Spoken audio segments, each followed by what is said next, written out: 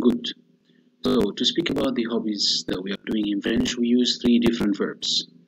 Uh, these are the verbs that you can see here in this slide. Aller, to go, faire, to do, and jouer, to play.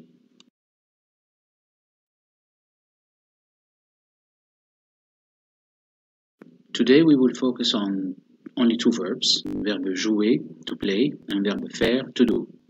So we use verb faire to do for the sports or hobbies that we do without any ball.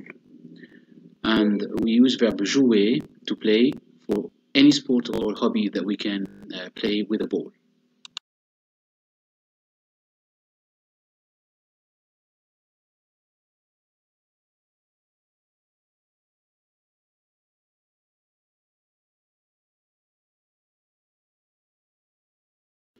Look at this slide and the following slides and try to guess what is the meaning in English of these hobbies.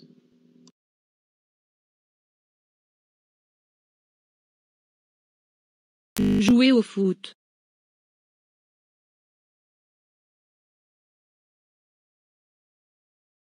Jouer au golf.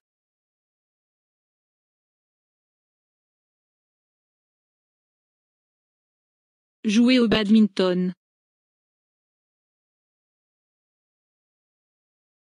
Faire du vélo.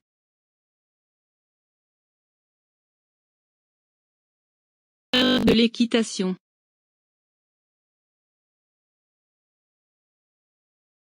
Faire les magasins.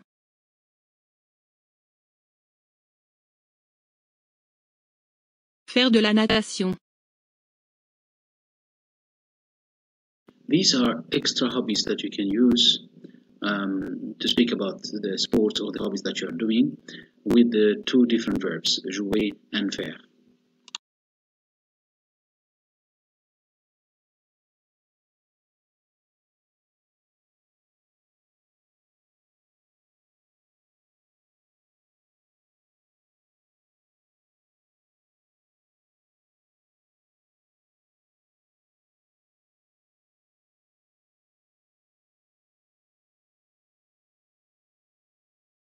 We are done for today. These are the crowns, so uh, I'll be waiting for your videos.